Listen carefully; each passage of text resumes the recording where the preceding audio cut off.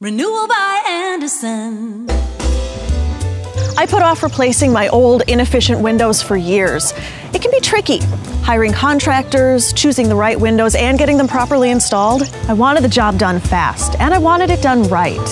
So I called these guys, the experts at Renewal by Andersen.